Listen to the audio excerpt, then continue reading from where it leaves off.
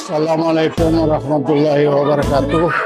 Saya selaku Ketua PPLP PP PGRB Banjarmasin Dengan ini mengucapkan selamat Hari Raya Idul Fitri satu Sawal 1443 Hijriah.